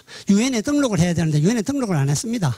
그래서 비밀 조약이기 때문에 우리가 성계할 이유가 하나도 없습니다. 예. 자, 어, 그래서 이제 간도 문제는 결국은 동북 공정이 일어나고 이렇게 해서 간도 문제가 어, 생겼죠. 어, 30년 동안 중국이 동북 공정 해가지고 지도라든지 많은 것들이 중국한테 유리하게끔 다 만들어져 있는 것을 우리가 어, 알 수가 있습니다. 어, 어, 동북 공정은 바로 중국과 우리의 역사 전쟁입니다. 어, 중국은 대포 갖고 어, 전쟁을 하자는데 우리는 소총 가지고 각계 전투하고 있는 이런 현실이 상당히 에, 안타깝습니다. 자, 다시 지금까지 이 설명한 내용을 어, 요약을 하면 어, 어, 어, 이렇습니다. 거꾸로 어, 올라가 보면 1948년 어, 군사 분계선은 휴전선이니까 국정이 아닙니다. 요거는 그럼 그 이전으로 어, 올라가야 됩니다. 어, 그 이전으로 올라가야 돼. 그러면 그 간도협약 때 압록강 두만강을 맺었는데 간도협약은 근본적으로 어, 무효입니다. 그래서 압록강 두만강도 국정선이 이, 아닙니다. 어, 그 다음에 연해주 부분 이것도 어, 북경조약에 의해서 어, 중국이 러시아에 낸가 줬지만 북경조약 또한 우리의 을산늑약과 마찬가지로 국제법상 무효가 이미 선언됐습니다. 그래서 중국은 이 땅을 찾으려고 실지 회복을 해서 지금 많은 어, 노력을 어, 어, 하고 있고 그래서 자, 자본이나 인구가 이쪽으로 이동하기 때문에 러시아에서 위기감을 가지고 지금 공생 국가론이 나오는 것도 바로 원인이 거기에 에, 있다 하겠습니다. 중국이 실제 회복하려고 하니까 거기에 대한 위기감을 느끼는 것이죠. 그래서 이, 이 선도 어, 국경이 아닙니다. 그러면 그 전으로 가야 돼. 이제 백두산 정계비로 갑니다. 국경이. 백두산 정계비가 아까 앞에서 얘기한 거와 마찬가지- 마찬가지로 국제법상 유효한가 안 한가. 그게 문제가 되겠죠. 국제법상 유효하면 서해 압록동이 토문이 국경이에요. 예, 이게 우리 땅이 됩니다. 만약에 국제법상 유효하지 않으면 그 앞으로 가야 돼. 어디로 가느냐? 유조 변책선 이렇게 가야 돼. 예, 그래서 우리가 주장할 수 있는 최대의 강력 범위는 바로 이 유조 변책선이 되는 것입니다. 예, 최대의 범위가 최대의 범위가 이 유조 변책선이 됩니다. 유조 변책선부터 시작해서 휴전선까지 이 강력의 변화는 있었지만은 우리가 언젠가는 되찾고 우리가 주장할 수 있는 강력의 범위는 이 유조 변책선이다. 이 유조 변책선은 자 사극점 지리적 위치 동서 남북 다 나옵니다. 경계는 유조 변책 요 송아 여기 여, 부터 시작해 쭉 돌아서 이렇게 이렇게 이렇게 오는 게 이게 여 어, 범위가 됩니다. 국도 중심점이 어디냐? 국도 중심점 여기가 우리 이 국토 영토 중심점입니다. 이 전체에 우리 배꼽이죠 배꼽. 여기가 저 동우현 음, 어, 지점인데 여기 제가 가가지고 말뚝을 박아놓고 왔습니다. 아, 우리 요 배꼽 여기 우리 영토 중심이 이, 이 때- 우리 지금 어, 어, 한반도의 영토 중심점은 양구죠, 그죠? 양구, 어, 양구가 어, 영토 중심점입니다. 자, 면적은 면적은 어, 우리 한반도가 다 합쳐서 어, 84589입니다. 우리의 최대의 찾아야 될 면적. 이거는 역사적으로 봤을 때는 이거보다 범위도 훨씬 더 넓을 수도 있겠죠. 그러나 어, 중국과 우리의 역사 속에 나타나 있는 국경 조약에 의해서 국경 조약에 의해서 우리가 어, 어, 비정할 수 있는 최대의 위치와 면적은 어, 845에 899다. 생긴 거 생긴 거는 요래 생겼다. 아, 생기기는 어, 요래 생겼다. 그래서 우리가 앞으로는 어, 우리가 지도를 밑에 거 요거만 우리 지도가 아니고 이게 우리 지도입니다. 이게 우리 지도. 자, 우리 초등학생한테 우리나라 지도를 그리라 하면은 요 대한민국만 그리는 거 아니지 않습니까? 북한까지 그리지 않습니까? 어, 초등학생들이 이 북한을 우리나라 땅으로 그리는 것은 영토 의식의 문제입니다. 영토 의식의 문제. 그래서 우리가 앞으로는 지도를 이렇게 그리고 이렇게 그리고 지금은 지금은 비록 우리가 대한민국 여기에 섬에 갇혀 있지만은 헌법상으로는 북한도 우리 땅이다. 그래서 휴전선은 국경이 아니다. 이, 이 압록강 두만강은 일본이 간도 협약에 의해서 내가 줬기 때문에 이것도 무효다. 어, 이건 지금 러시아가 차지하고 있기 때문에 1861년 북정조약에 의해서 어, 주- 중국이 내가 줬다. 이것도 우리가 찾아야 될 땅이다. 백두산 정답이 1712년도에 했는데 이것도 국제법상 효력이 있고 없고가 다르지만은 있을 때는 효력이 따라면 여기 우리 땅이고 효력이 없으면 이게 우리 땅이다. 그래서 우리가 이렇게 그리고 이렇게 교육을 시켜야 된다. 예, 그렇게 제가 아, 주장을 합니다. 예. 예. 시간이 이, 지났다고 어, 해서 에, 여기서 마치고 그래서 오늘 어, 제가 말씀드린 거 딱 몇 가지만 어, 딱 정리를 하면은 이렇습니다. 어, 우리나라 어, 최초의 국경선은 강도 해명에 의한 유조 변책선이다. 유조 변책선이다. 그 다음에 어, 독도는 독도는 태정간 지시서에 의해서 어, 우리 땅이 분명하다. 어, 그 다음에 녹둔도. 녹둔도는, 어, 이순신 장군 기념관을 북한에서 지어서 잘 관리를 하고 있더라. 어, 그래서 우리가 기회가 되면은 거북선을 만들어서, 어, 그 서분포에 띄워야 되겠더라. 어, 그리고 우리나라의 면적은 아까 84549다. 그래서 그게 우리 이 한반도의 3.5배 크기라 하더라. 그리고 휴전선과 압록강과 연해주 흑룡강과 어, 그다음에 백두산 정제비는 국경이 아니다. 아, 이렇게 강의 이 내용을 정리를 할 수가 있겠습니다. 오늘도 역시 어, 시간이 바빠가지고 어, 제대로 설명을 못 드려서 어, 대단히 이, 죄송합니다. 예, 경청해 주셔서 고맙습니다. 예.